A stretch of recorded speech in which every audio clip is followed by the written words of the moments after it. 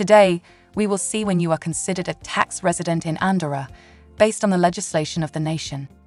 First of all, you are considered to be fiscally resident in Andorra if you stay in the territory of Andorra for more than 183 days during the calendar year. You are also considered to be a tax resident in Andorra if your main nucleus, or the base of your activities or economic interests, is in the territory of Andorra.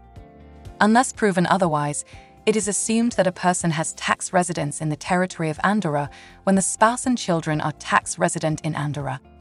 Work permits are notoriously not easy to obtain. Most of the people who aspire to reside in Andorra, statistically, prefer to obtain the so-called passive residence permit reserved for certain categories of subjects. Passive residence is not ideal for everyone, since it does not allow you to get a job in Andorra or to run a business in Andorra, for example with Andorran employees and business premises located there. However, with passive residency, you can manage internet businesses outside the Principality or consultancy activities with clients in other countries, making it ideal for many of those aspiring to move to Andorra. To access the passive residence permit, it is necessary to reside in the Principality for more than 90 days a year.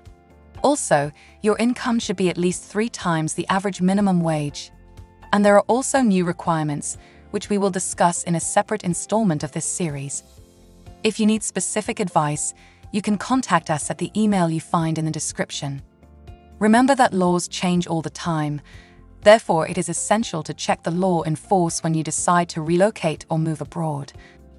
It is also very important that you speak to your international tax attorney before starting any type of tax planning or relocation of your business do not hesitate to contact us if you would like us to provide you with the contact information of highly qualified tax attorneys who are specifically qualified to help clients in your situation.